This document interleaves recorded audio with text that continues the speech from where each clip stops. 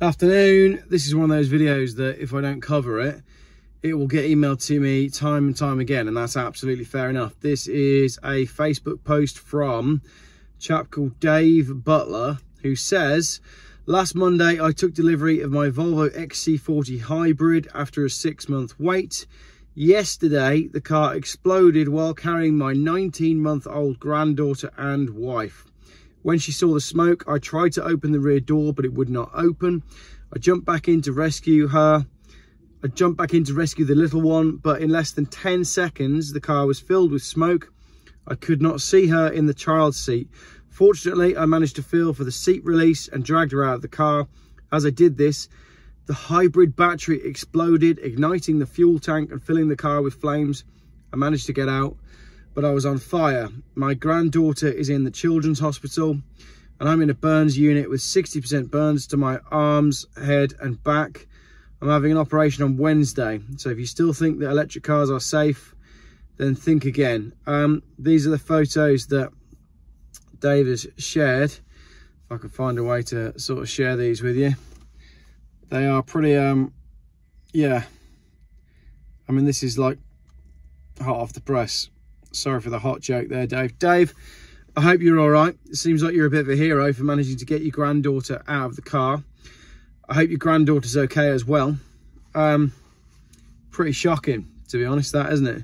So the question is, chemtrails, I'm joking. The question is, is the Volvo XC40, quick video this because I'm just about to leave Swindon to drive home. Just thought I'd make this before I left do they know about these problems with the Volvo XC40? Well, if you Google Volvo XC40 fire problem, take your pick. Uh, 22nd of July 2019, Volvo were recalling half a million cars worldwide due to fire risk. That includes 70,000 vehicles in the UK due to a plastic part in the engine. Now, it doesn't look to me like Dave's car caught fire from the engine. However, on Reddit, there's plenty of other posts. You're in a car park, idiot.